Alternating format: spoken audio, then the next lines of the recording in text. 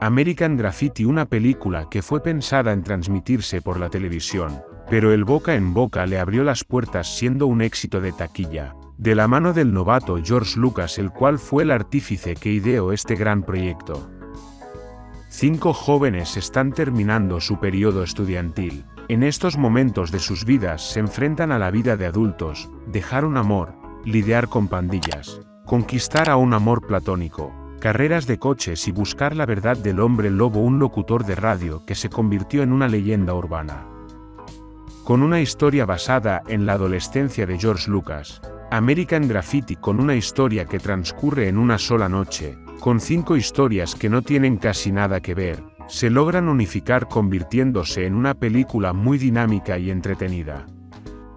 Siendo una cinta coming of age podemos presenciar la evolución que están teniendo estos chicos durante esta noche, con un trasfondo en donde esta inicia la guerra de Vietnam y la muerte de Kennedy. Con ese contraste la película nos muestra la contracultura de la década de los 60, y la típica adolescencia de un americano promedio. Con personas que recordaron su adolescencia con esta película, la misma retrató de una gran forma la ola de adolescentes de los 60, dejando grandes referencias a la cultura pop americana, y con gags muy creativos dándole ese aire de culto a la cinta. Siendo una cenicienta a la cinta nadie le tenía mucha fe ya que esta iba a ser proyectada por televisión, pero con proyecciones de prueba el público se quedó maravillado y el boca a boca la impulsó para llegar a pocos cines, pero por el impacto que tuvo en sus proyecciones. La misma fue reestrenada en todos los teatros de cine de Estados Unidos. Las actuaciones fueron muy destacadas ya que los mismos pudieron representar sus papeles de una forma genuina, con todos los roles teniendo características diferentes. Los actores logran dar con la forma de transmitir todos los sentimientos de estos, y con esto se logra una conexión genuina con el actor.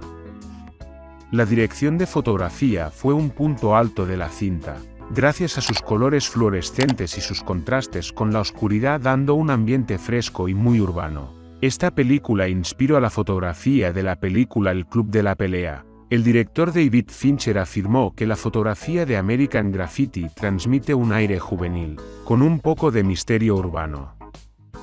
American Graffiti una cinta que se centra en las vivencias de adolescentes que están sufriendo su transición a la adults. Con un guion muy simple pero es una genialidad, dándonos los pilares para las películas futuras que traten sobre el desarrollo adolescente, sus gags, Easter Sex y su dirección de fotografía le dieron un espacio en el anaquel de películas de culto.